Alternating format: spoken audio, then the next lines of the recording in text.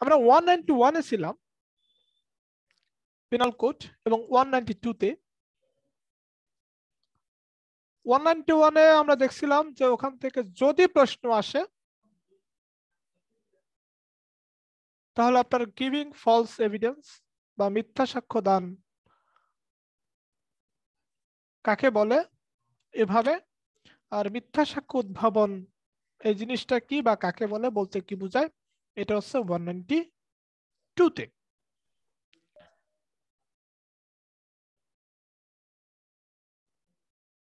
এখন এখানে এই মিথ্যা সাক্ষ্য দান, মিথ্যা সাক্ষ্য দেওয়া ফলস এভিডেন্স দেওয়া বা ফলস এভিডেন্স ফ্যাব্রিকেট করা।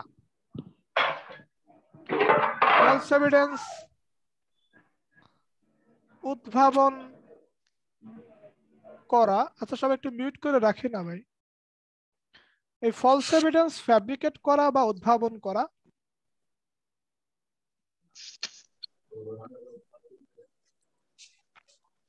এটা আছে সেকশন ওয়ান নাইনটি তে।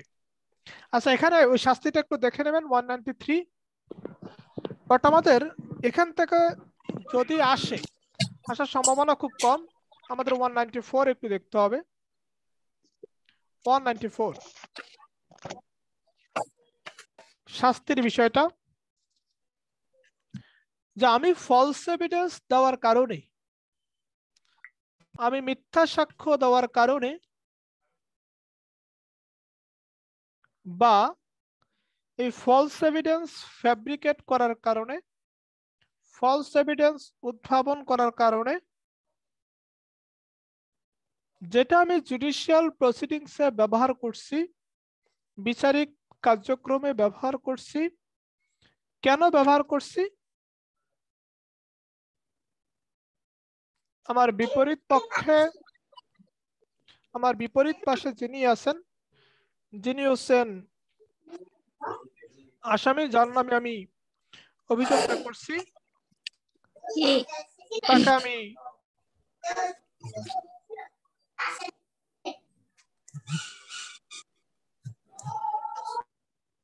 আচ্ছা একটু মিউট করে রাখি না।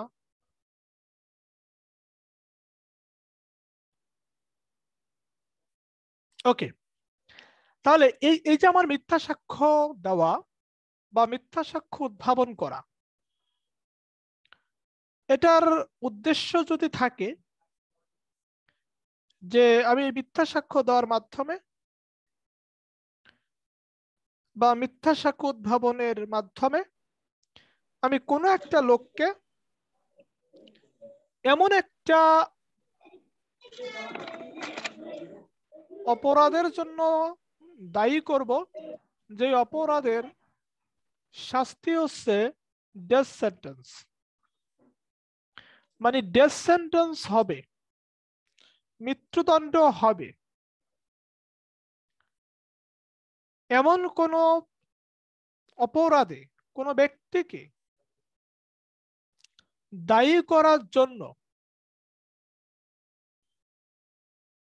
যদি আমি মিথ্যা সাক্ষ্য দেই বা মিথ্যা সাক্ষ্য উদ্ভাবন করে ব্যবহার করি,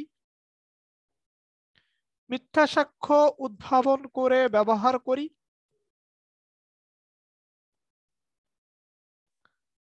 তাহলে আমার শাস্তি কি হবে? আমার শাস্তি হবে লাইফ ইমপ্রিজনমেন্ট অথবা ten years up to ten years rigorous imprisonment দশ বছর মধ্যে সশ্রম কারাবাস। আচ্ছা এই জায়গাটার সাথে সবচেয়ে বেশি ইম্পর্টেন্ট হচ্ছে ওয়ান নাইনটি এর লাস্ট প্যারাগ্রাফটা সেখানে বলছে if an innocent person be convicted মানে হচ্ছে আমার কনভিক্টেড অ্যান্ড এক্সিকিউটেড এখানকার কথা হচ্ছে যে যদি কোনো নির্দোষ ব্যক্তি আমার মিথ্যা সাক্ষ্য দেওয়ার কারণে বা আমার মিথ্যা সাক্ষ্য আমি যেটা তৈরি করছি, উদ্ভাবন করছি ফ্যাব্রিকেট করছি, সেটা আদালতে দেওয়ার কারণে একটা ইনোসেন্ট পার্সনের সাজা হয়ে গেছে। এবং সেই সাজাটা কার্যকর হয়ে গেছে। এখানে আমাদের প্রথমে যেটা বলছে যে ডেসেন্টেন্সে কোনো লোককে অভিযুক্ত করার জন্য আমি যদি মিথ্যা সাক্ষ্য দেই বা মিথ্যা সাক্ষ্য উদ্ভাবন করি, তাহলে আমার শাস্তি হচ্ছে লাইফ ইমপ্রেজনমেন্ট অথবা হচ্ছে up to ten years rigorous imprisonment দশ বছর পর্যন্ত সশ্রম কারাবাস।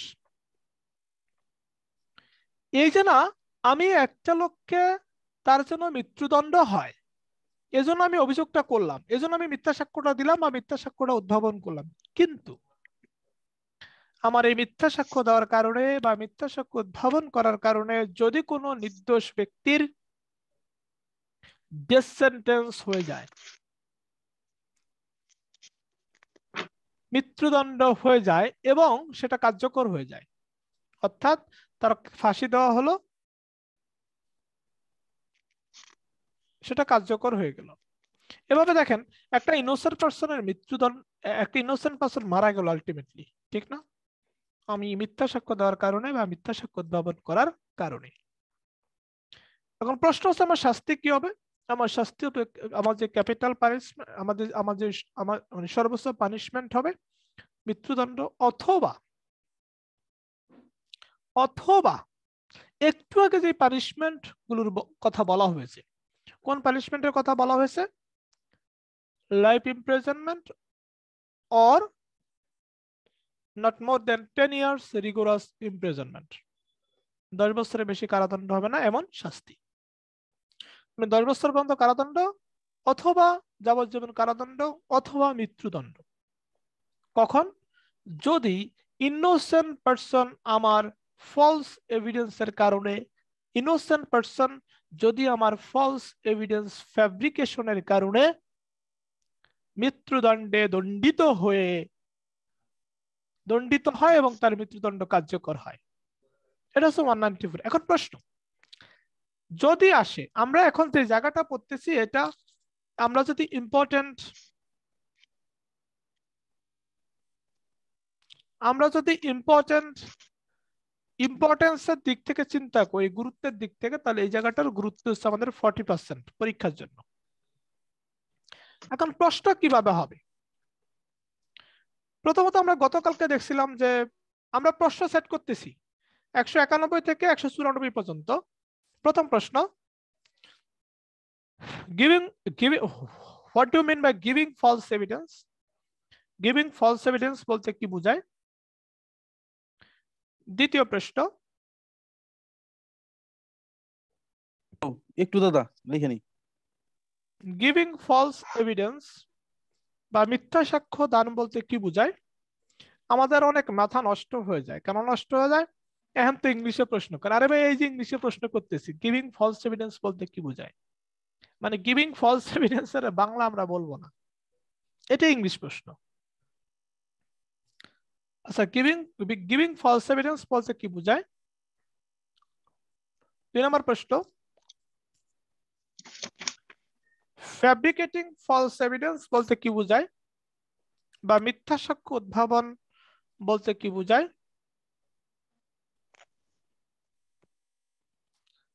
এবং এই দুইটির শাস্তি কি? মানে গিভিং ফলস এভিডেন্স মিথ্যা সাক্ষ্য দান এবং মিথ্যা সাক্ষ্য উদ্ভাবনের শাস্তি কি? ডিরেক্ট প্রশ্ন।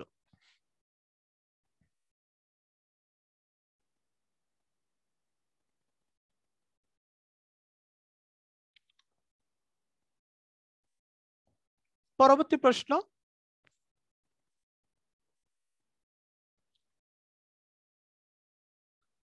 মিথ্যা সাক্ষ্য দানের ফলে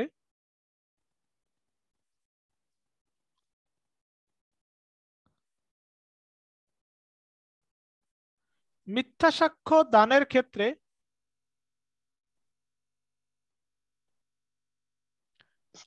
নির্দোষ ব্যক্তি সংক্রান্ত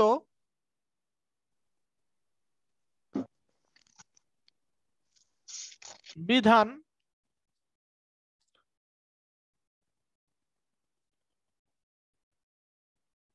দণ্ডবিধির আলোকে আলোচনা করুন। সেখানে আপনাকে বলতে হবে, এই যে নির্দোষ ব্যক্তিকে মেরে ফেললে মিথ্যা সাক্ষ্য দেওয়ার ফলে শাস্তি কি হবে? জাস্ট এতটুকু।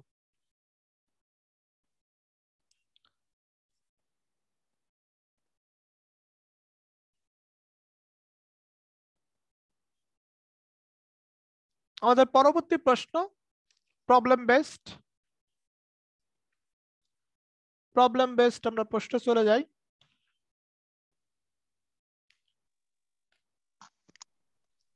এখানে আপনাকে এরকম একটা ফ্যাক্ট তুলে দিতে পারে, যদি আসে, যে এক্স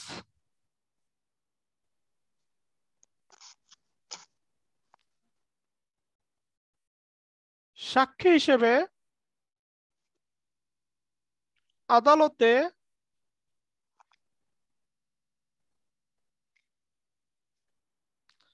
নির্দোষ ব্যক্তি ডি এর বিরুদ্ধে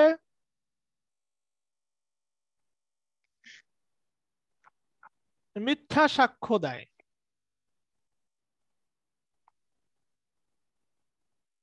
তার মানে এক্স নির্দোষ ব্যক্তি ডি এর বিরুদ্ধে মিথ্যা সাক্ষ্য দেয়। এতে ডি মৃত্যুদণ্ডে দণ্ডিত হয়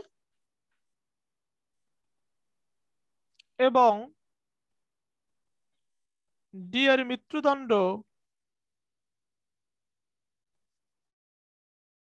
কার্যকর হয়। মৃত্যুদণ্ডে দণ্ডিত হয় এবং ডি এর মৃত্যুদণ্ড কার্যকর হয়।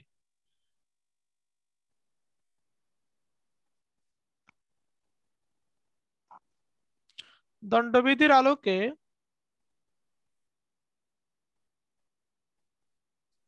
এক্সের লাইবিলিটি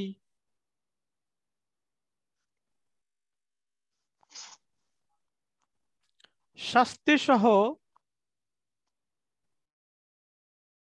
আলোচনা করুন। দণ্ডবিধির আলোকে এক্সেল লাইবিলিটি শাস্তি সহ আলোচনা করুন। তার মানে এখানে দেখেন ওয়ান নাইনটি ফোর আমরা একটু আগে যে আলোচনাটা করলাম, এভাবে প্রশ্ন আসতে পারে। আচ্ছা এখানে আমাদের আর থাকার দরকার নাই। এরপর আমরা চলে যাব এরপরে আমরা চলে যাব হচ্ছে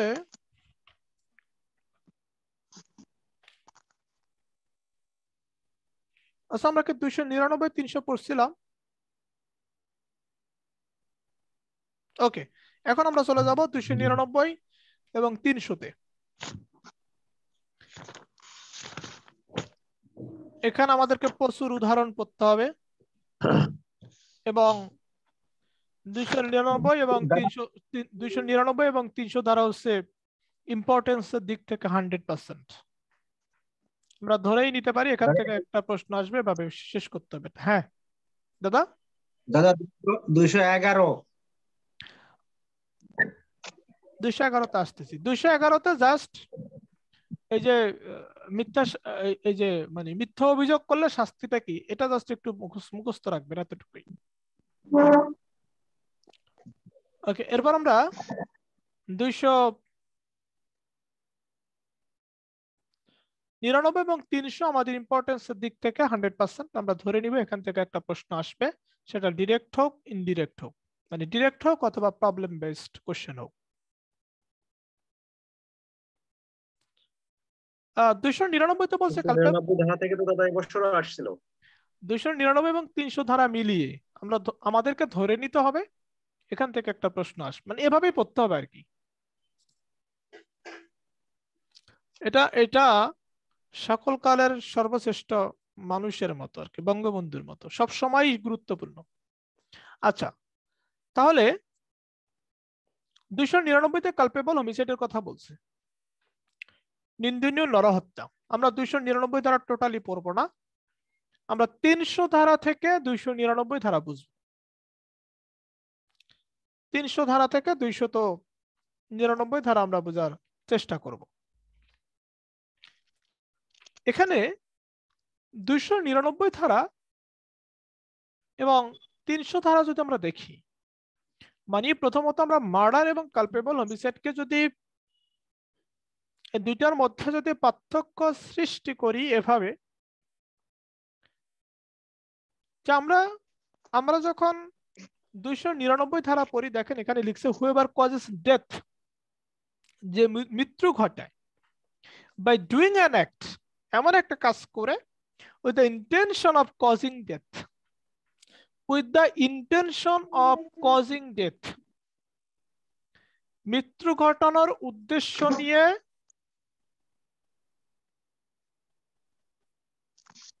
মৃত্যু ঘটানোর উদ্দেশ্য নিয়ে যদি এমন কাজ করা হয় যে কাজের ফলে মৃত্যু ঘটে, সেই মৃত্যুকে বলতেছি আমরা কালপেবল হোমিসাইড বা নিন্দনীয় নরহত্যা।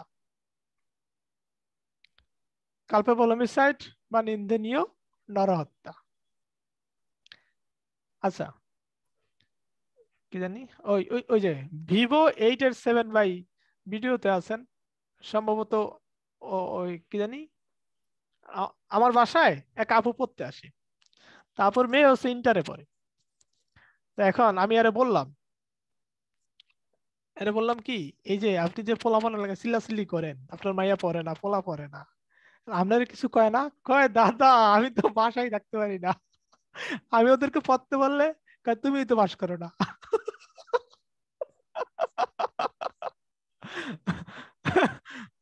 একটা প্রবলেম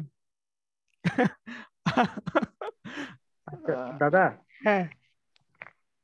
নিন্দনীয় নরহত্যা কি দাদা? এরকম বলা যায় যে আকস্মিক উত্তেজনায় পূর্ব পরিকল্পনা ব্যতীত যদি কেউ যদি কাউকে মেরে ফেলে, তবে সেই হত্যাটি নিন্দনীয় নরহত্যা বা কালপিবুল হোমিসাইড হবে।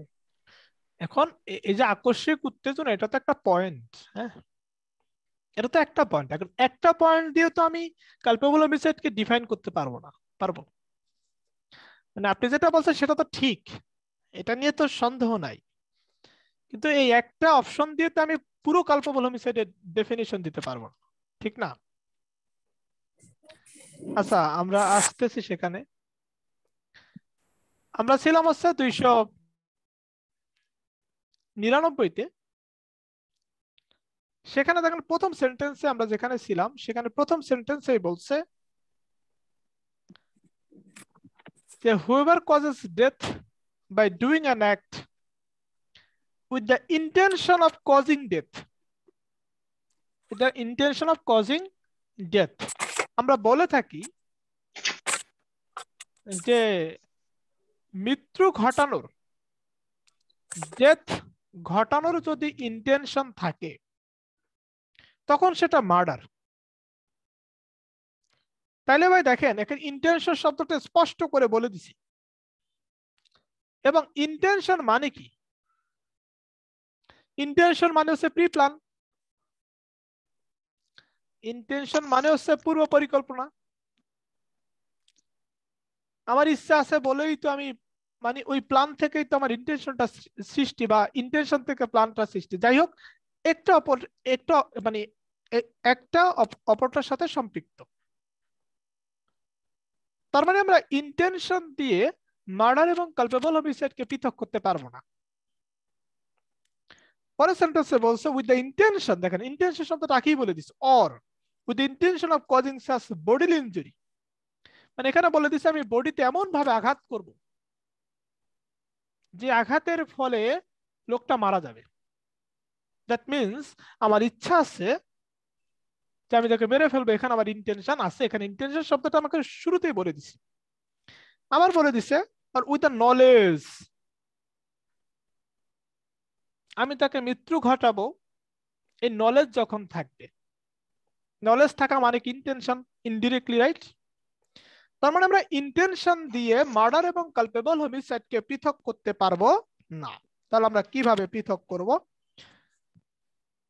এখানে কথা হচ্ছে যে, এখানে কালপেবল হোমিসাইডকে তিনটা ওয়ের কথা বলছে।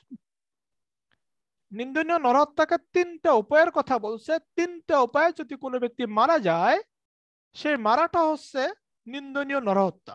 সেই ডেথটা হচ্ছে কালপেবল হোমিসাইড ওকে দুই নম্বর অপশনে গিয়ে দেখেন, যদি কেউ যদি ইংলিশ দেখেন, সেখানে দেখবেন অরের পরে মানে প্রথম যে অর আছে অথবা আছে, তারপরে the intention of causing such bodily injury as is likely to likely to এই শব্দটা দেখেন আছে। L I K L Y likely আমরা এই সেকশন দুটাতে অনেক সময় নিব। আচ্ছা লাইকলি টু হচ্ছে সম্ভবত। লাইকলি টু বাংলা কি? সম্ভবত। মানে সম্ভাবনা রয়েছে। মানে আমার মৃত্যু ঘটানোর উদ্দেশ্য আছে। মৃত্যু ঘটানোর চিন্তা আছে। কীভাবে? তাকে আমি বডিলি ইঞ্জুরি করব। তাকে আমি শারীরিকভাবে আঘাত করব। এবং আমার, আমি এমন ভাবে তাকে শারীরিকভাবে আঘাত করব যাতে করে তার মৃত্যু ঘটার সম্ভাবনা আছে। এখন সম্ভাবনা যেখানে আছে, সেখানে কি মৃত্যুটা নিশ্চিত? মৃত্যুটা নিশ্চিত না। যেখানে আমি বলতেছি যে আমি এক্স নামক এক ব্যক্তিকে এখন গুলি করব, এই গুলির ফলে তার মৃত্যু ঘটার সম্ভাবনা আছে। দ্যাট মিনস আনসার্টেনটি কাজ করে। ফিফটি ফিফটি ব্যাপার। বা হচ্ছে বা হচ্ছে নাইনটি টেন ব্যাপার। মানে নব্বই পার্সেন্ট মরার সম্ভাবনা আছে, কিন্তু আমি তো হান্ড্রেড পার্সেন্ট এখানে বলতে পারতেছি না। পারতেছি? এই যে লাইকলিহুড দ্বারা আমরা কালপেবল হোমিসাইডকে বুঝতে পারি। এটা কালপেবল হোমিসাইডের একটা হাব বাপ আছে, এই লাইকলি টু এর মধ্যে, ঠিক না? মানে নিন্দনীয় নরহত্যার একটা বৈশিষ্ট্যের মধ্যে আমরা লাইকলি টুকে মানে বলতে পারি। তিন নম্বর প্যারাগ্রাফে তিন নম্বর সেন্টেন্সে গিয়ে দেখেন অর উইথ দ্য নলেজ যেখানে জ্ঞানের কথা বলছে that he is likely by such act এখানেও লাইকলি টু আছে। তিন নম্বর পয়েন্টও আমার মৃত্যু ঘটানোর জ্ঞান আছে বা মৃত্যু, আমি আমি তাকে মৃত্যু ঘটাবো এটা আমি আগেই জানতাম। এটা আমি আগেই জানতাম। কিন্তু আরও বলে দিছি, এর ফলে আর মৃত্যু ঘটতে পারে। আমি যদি রাস্তার মধ্যে একটা কুয়া কুয়া মানে হচ্ছে গর্ত। আমি যদি রাস্তার মাঝে একটা গর্ত তৈরি করে রাখি এবং আমি যদি বলি, এখানে, এখান দিয়ে রহিমউদ্দিন নামক ব্যক্তি যাবে এবং আমি চাই রহিমউদ্দিন লোকটা মারা যাক। সে এই কুয়ার মধ্যে পড়ে মারা যাক। ভাই, রহিমউদ্দিন ওই কুয়ার উপর পাড়া দিতেও পারে, নাও দিতে পারে। যে গর্তটা আমি করে রাখছি, তাকে ফাঁদে ফেলার জন্য, তাকে মারার জন্য, সে সেখান দিয়ে পাটা রাখতেও পারে, নাও রাখতে পারে, পা রাখলে হয়তো বা মারা যাবে। তার মানে হচ্ছে এখানেও মৃত্যু ঘটার সম্ভাবনা। তার মানে এই মৃত্যু ঘটার সম্ভাবনা দিয়ে আমরা কালপেবল হোমিসাইডকে বুঝতে পারি। কিন্তু আমার প্রশ্ন হচ্ছে, প্রথম সেন্টেন্সে কি লিখছে?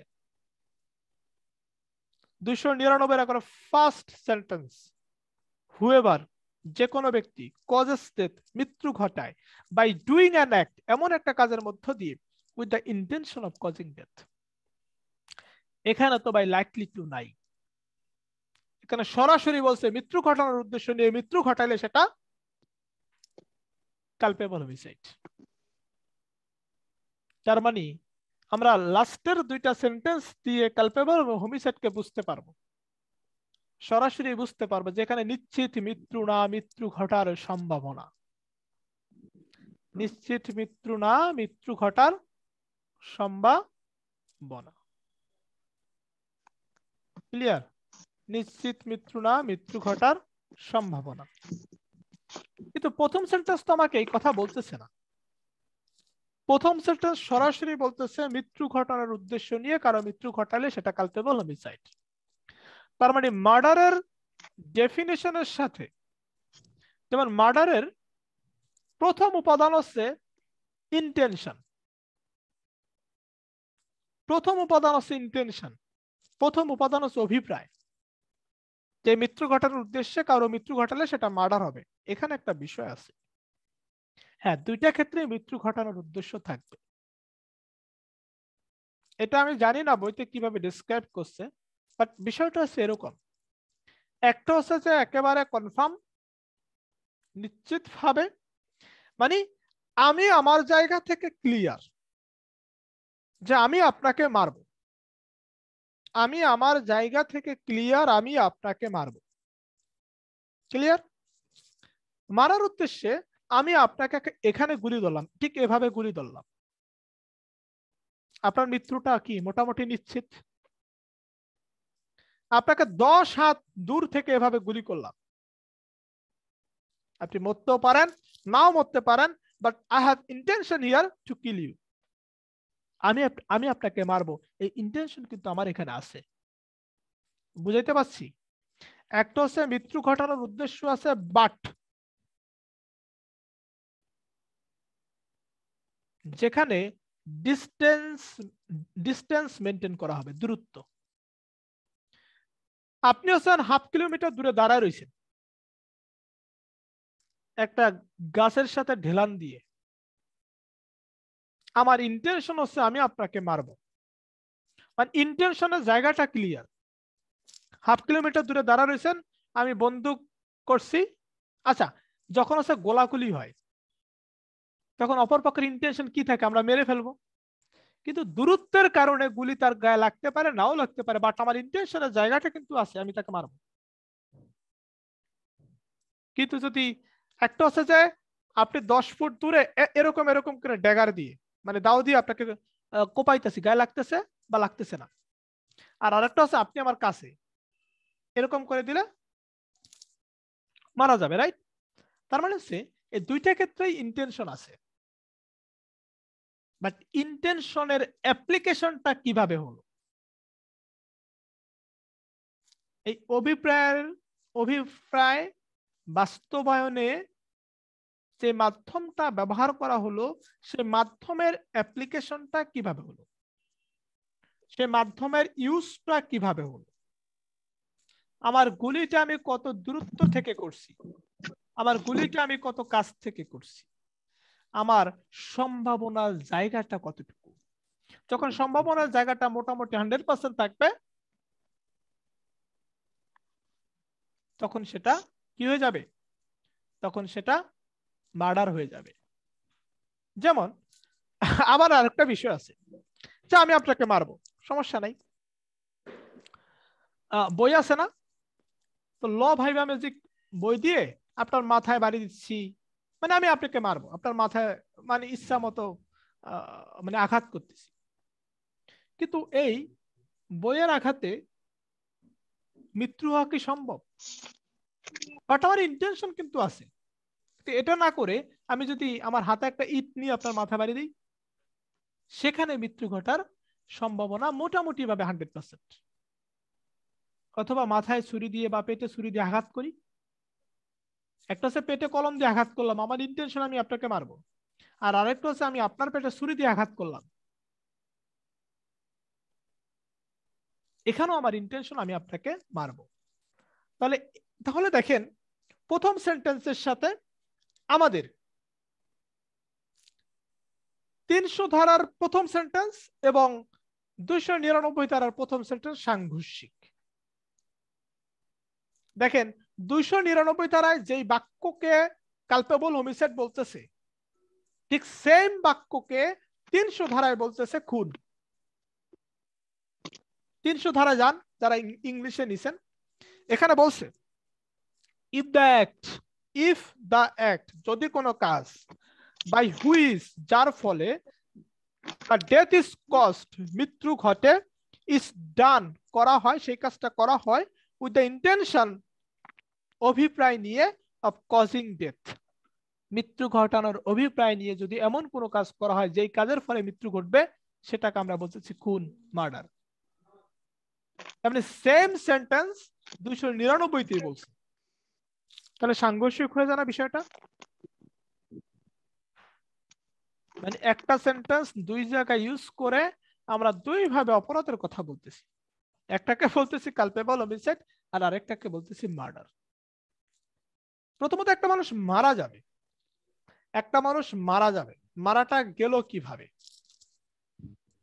একটা মানুষ মারা যাবে, মারাটা গেল কীভাবে? এটার উপরে এটার উপরে নির্ধারণ হবে যেটা কালপেবল হোমিসাইড নাকি মার্ডার। আচ্ছা তাহলে ইন্টেনশনের জায়গাটা আমার মনে হয় যে আমরা সবাই ক্লিয়ার দুইশো নিরানব্বইতে দেখবেন কি অনেকগুলো উদাহরণ আছে। দুইশো নিরানব্বই ধারাকে আমরা আলাদাভাবে বুঝতে যাব না আমরা তিনশো ধারা থেকে বুঝব। প্রথমত তিনশো ধারায় চারটা প্যারাগ্রাফ আছে। চারটা প্যারাগ্রাফকে মার্ডারকে ডিফাইন করছে। মানে চারটা প্রেক্ষাপটে আমরা একটা হত্যাকাণ্ডকে খুন বলতে পারব। কোনো মানুষ মারা গেলে চারটা প্রেক্ষাপটে চার ধরনের পরিস্থিতিতে আমরা একটা হত্যাকাণ্ডকে খুন বলতে পারব, মার্ডার বলতে পারব। দ্যাট মিনস একটা প্রশ্ন লিখি। When culpable homicide when culpable homicide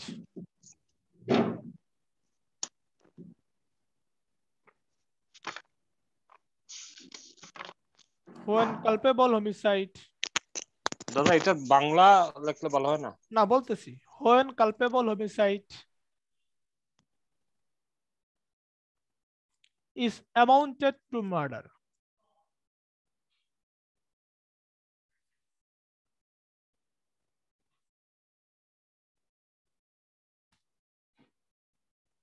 when culpable homicide is amounted to murder. Bangla হচ্ছে কখন নিন্দনীয় নরহত্যা খুনে পরিণত হয়? কখন নিন্দনীয় নরহত্যাকে খুন বলা যায়? আমাদের এখনই কেটে যাবে, আমরা নতুন করে আবার জয়েন করব। কখন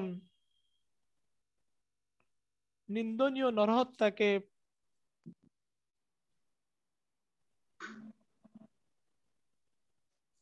খুন বলা যায়?